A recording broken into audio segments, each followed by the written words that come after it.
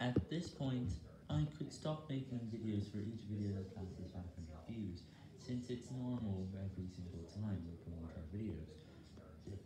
It's because it's booming, and I'm leaving lots of links. This makes the videos get better and better, and eventually 500 views would